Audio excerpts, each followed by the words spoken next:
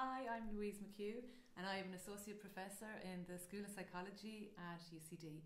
Um, I want to just talk a little bit about a recent book that I co authored with Ian Stewart and Priscilla Almada uh, called The Contextual Behavioural Science Guide to the Self. Um, we were also lucky enough to have one of the most influential psychologists of our time, Stephen Hayes, as the foreword writer, which we're very proud of. Um, the book surrounds a, a, topic that we talk about all the time ourselves.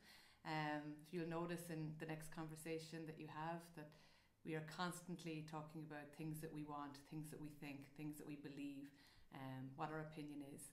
Uh, and really, that's us talking about ourselves. But um, very rarely do we actually think about the question, Who am I?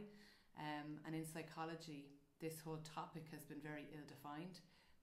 Contextual behavioural science has got a very coherent and uh, comprehensive understanding of what uh, a sense of self is.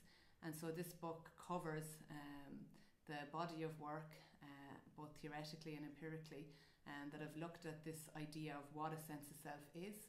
Um, and also looks at how uh, this understanding can help practitioners, clinical psychologists, um, and particular coaches, various different uh, people working with people, how they can use this understanding to uh, bolster their work um, and to help the people that they work with have a broader and more healthy sense of self um, when a healthy sense of self isn't in place.